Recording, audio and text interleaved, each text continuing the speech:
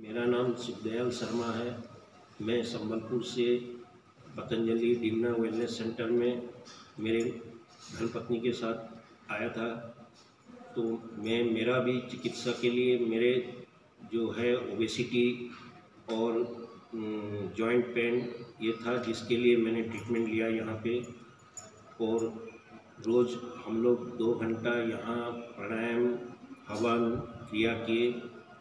और यहाँ के मेरा जो उपचार हुआ उससे मेरा सात दिन में चार किलो का वज़न घटा है और कुछ जो मेरा जॉइंट पेन था जिसे गृहावस्थी से मेरा वो जॉइंट पेन पूरा क्लियर हो गया है।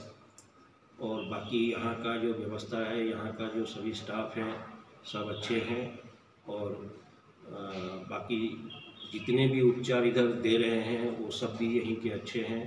काफ़ी लगन के साथ उपचार मिल रहा है।